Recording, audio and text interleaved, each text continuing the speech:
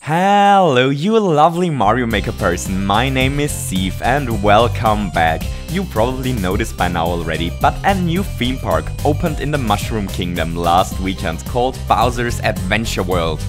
The press reviews were mainly negative, stating that all attractions are way too dangerous, some even lethal, but I talked with some visitors of the theme park and those who survived usually liked it. While there are tons of cool attractions in the theme park, like a House of Mirrors or bumper car driving, the coolest attractions are of course the roller coasters. And because of this, we will take a look today at all the different attractions that feature skeleton roller coasters. You ready? Let's do this!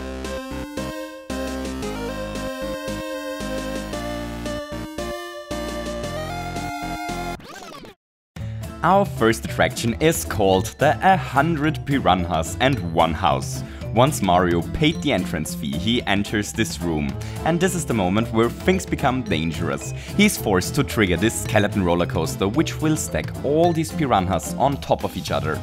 Poor Mario. His only chance of surviving this funny house is by triggering the two other skeleton roller coasters in the right order, as this will force the P-switch to become triggered and kill all the fire-spitting plants. Here Mario has to race a skeleton roller coaster if he wants to leave the attraction alive, while our plumber tries not to slow down, the skeleton platform will do everything possible to stop him. But if Mario manages to survive, he will be rewarded with an exit door. This one is called Riding the Wave, and while riding a Bullet Blaster Bills wave sounds like fun, that's sadly not what this attraction is about. It is more about not getting crushed by the wave than riding it. I hope Mario knew this before he paid the entrance fee. Let's quickly talk about the skeleton roller coaster basics. The blue version moves faster than the white one and will never drop down, while the white one will carry our plumber only for a short amount of time. The same is true if you put your skeleton roller coaster on tracks. The white one is slower and will drop down, while the blue one is faster and circles around forever. So this idea is pretty self-explaining, pretty epic, and not mine. Someone left me a level ID in the comments that featured this trick and let's face it, it's an amazing trick. If you want to play the level, I'll leave you the ID in the description. Shout out to YouTube user Whales Are Cool for showing me this trick. So here we have a skeleton roller coaster tower. All Mario needs to do to escape this one is to jump, jump and jump. While this sounds rather easy, the spiky walls make it actually incredibly dangerous. I'm serious, it's incredible hard, it took me like forever to record it. But when I finally did it, I was smiling. I'm actually not a huge fan of roller coasters. In my opinion, they are driving with your car off a cliff simulators. But as there are people who seem to enjoy it, let's have a look at this Mario Maker roller coaster that does not only simulate the lethal feeling, but is actually really dangerous. This attraction contains a small puzzle. Mario needs to find a way to ignite this arm. Luckily, the cannon that blocks the Bullet Blaster Bill can be moved, and then the Bobo Fireball does the trick. Now all our plumber needs to do is to trigger the skeleton roller coaster and he is finally able to leave.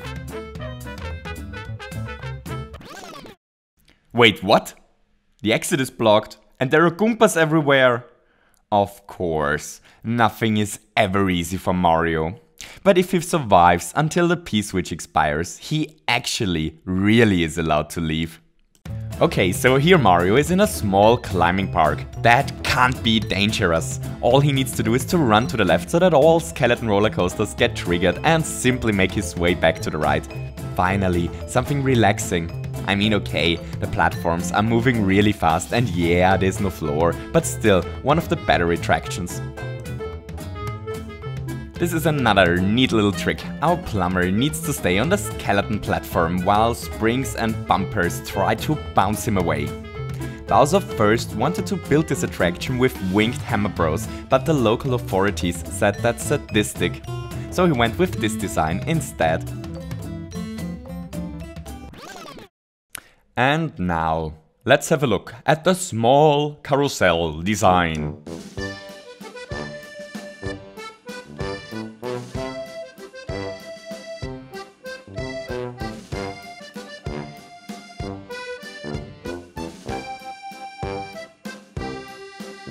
I really like this one. Mario needs to survive until the P-switch appears, which will open this door for him.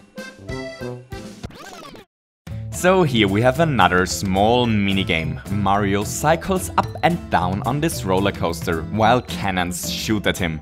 He needs to jump at the right moment so that he survives this cannon wall. The only problem is that it looks like there is no end to this nightmare. But that's fortunately not true. After a while, this spiky clock will trigger the P-switch and a door will magically open for our plumber, allowing him to escape. Here Mario has to solve a small puzzle. He needs to get the P-switch to the left and this is only possible if he triggers the roller coaster. While the skeleton roller coaster is blocked by a ground tile, it is still possible to trigger it. You only need to try hard enough. Once the P-switch got triggered, this bob-omb is ignitable, allowing Mario to reach the upper floor, to trigger the Thwomp, and to escape this attraction.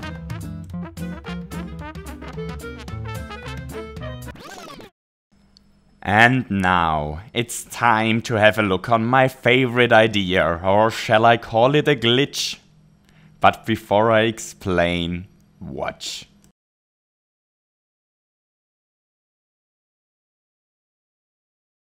Okay, this one is pretty self-explaining and one of the coolest mechanics I've seen in a while. While I have no idea how to make use out of this glitch, I think it's a pretty fantastic one. And that's it for today and for skeleton roller coasters and for theme parks. I sincerely hope you enjoyed the video. If you did, leave me a thumbs up and maybe you feel especially roller coaster today and want to hit the subscribe button as well.